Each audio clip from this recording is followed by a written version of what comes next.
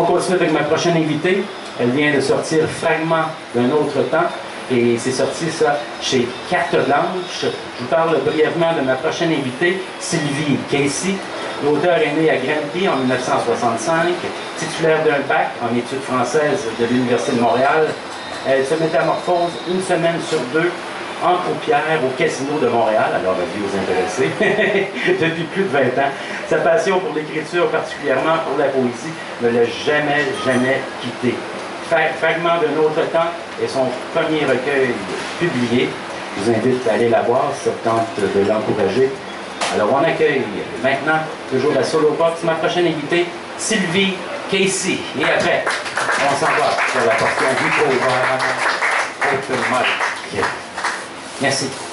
On t'écoute Sylvie Casey, toujours à box, soirée dédiée à Anne-Marie Alonso. Toutes ces heures, tous les jours t'attendre. Quand tu viens, et tu viens, je dirais, pars pas. Demain, en paysan, un long nuage vie. Ni toi, ni moi pourtant. M'aimes-tu?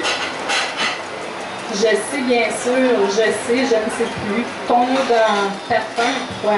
Je n'ai que la tête et ton corps, moi. Nous ferons qu'une monstre à deux têtes, mais sacré. Jalouse, oui, en folle possession. Les autres mentent, mais tout importe de ce qui est dit. Tout ce qui est dit, je répète, il n'y a que toi, moi, toi. Les autres mentent. Touche-moi, mère, et retiens, ramasse-moi. Si tous les muscles fondent, regarde mes doigts et les jambes molles tu me laves, me peignes, m'habille, ne me laisse, ne m'abandonne pas. Aujourd'hui, je demande, es-tu prisonnière? Toutes ces années et jamais le moindre mal. Ne te plains, ne gémis pas. Pourquoi? Où va la crainte chez toi? Que caches-tu? Et je cherche à travers les siècles. Et je pleure. Et toi, rien. Je pleure, vois-tu? Et tu viens, tu tiens, retiens le monde, s'écoule royal. Je dis, tu ne tomberas pas. Tu es forte et je ne trouve pas ce qui me tue. Anne-Marie Alonso, veille.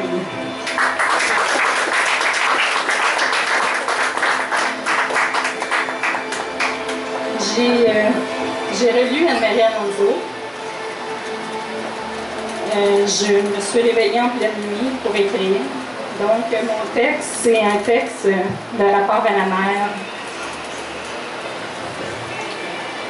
Je me sens comme si tu tirerais un long drap blanc noué du fond de ma gorge, bouche bée, et tu me tires lire. Cette attache qui n'en finit plus de blessures originelles de ceux qui ont osé couper le cordon qui me nourrissait à toi. Ton corps, ses courbes, ses courbes ce capharnaüm, temple mental de mon développement, de ma dévotion spirituelle, de ma contemplation cosmique. Je vibrais au moindre de tes mouvements. Amnétiquement enfoui dans la viscosité de tes entrailles, J'allais mimétisme où le cœur te portait, bercé par le bruit des entités qui assaillent ton corps, comme les vibrations crescendo d'un chant qui résonnait, englobant. Pendant que je me nourrissais jusqu'à ton centre énergie du sang de chacune de tes cellules je me multipliais exponentielle, boule fécondée de toi. Voyage au creux du ventre miraculé dans la pénombre illuminée. Et déjà, j'enregistrais comme une mue de peau, s'inscrivant en moi, me burinant, chacune de tes peines, chacune de tes caresses, chacune de tes contrariétés, tatouant tes angoisses, chacune de tes déceptions, de tes chagrins, de tes douceurs, de ton immense bonheur, lorsque je me manifestais au diapason de tes hormones. Tu me tatouais génétique, arbre en flamme. Je retroussais mes orteils minuscules, étirant petite main pour me mouvoir dans cette bulle de liquide. J'étais amphibie. L'espace se comprimait. Je n'avais plus aucune marge de manœuvre. J'étouffais. Je suffoquais. Ressentant de plus en plus tes angoisses. Je ne voulais pas quitter ce cocon humide. Ma sécurité, ma mon repère. Je n'étais pas prête lorsqu'ils sont venus me chercher à grands coups de forceps sur ma délicate tête, dans mon œil, et la succion de cette ventouse sur mon front, j'ai mal. Extirpant toute la chaleur, l'humidité, la douceur, ma sécurité d'inertie, monde de sonorité inouïe. J'avais mal de ce passage étroit qui m'entraînait dans la chute et j'assistais impuissante à ma première mort. Mes illusions s'envolant dans le placenta Renaissance. Cette chaleur insoutenable des heures, une éternité, où je me débattais avec toi pendant que les contractions de ton corps m'électrocutaient, je perdais mon milieu aquatique. Puis, ce froid sur ma tête et sur tout mon corps, cette sensation de liquide qui s'écoule et s'évapore, sécheresse. Je ne sais pas respirer, mes poumons veulent éclater. On me balance par les pieds, la tête en bas, en me frappant le postérieur comme une vulgaire potiche pour que j'évacue le dernier liquide qui me retenait encore à ta vie. Je pleure.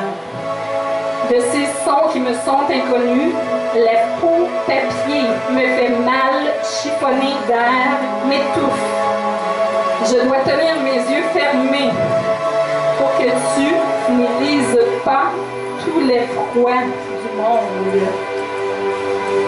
Perdu, je m'ennuie déjà de toi, de ma caverne engloutie, mille lieues dans ton corps cathédral.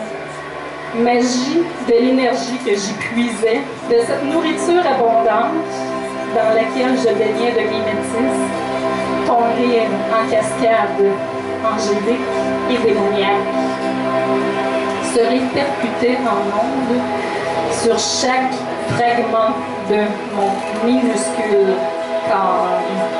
J'étais ta poupée gigogne, la joie inondait ton ventre de vitalité, de réconfort. Ton chant, tes déplacements me portaient, transcendance partout où tu allais, alias sécurité. Je me baignais dans ton humour, dans ton humeur, dans ta tendresse, dans tes veines, jusqu'à ton cœur villégiature. Cicatrice originelle, ce manque, ce vide, ce détachement, cette coupure au nombril. Ils ont toujours voulu me détacher de toi et je n'ai jamais su aimer. Pourtant, j'y ai cru.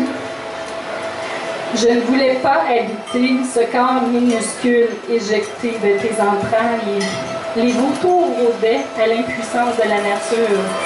Cette éternité de mon développement était déjà passée inaperçue dans l'univers. Déjà, je n'existais plus, évaporée dans cette nature. Apprendre à me recentrer, apprendre à m'aimer. Je devais apprendre à me réapproprier mon corps, sérénité. Mom, mom, mommy, help me. Mom, mom, mommy. Merci.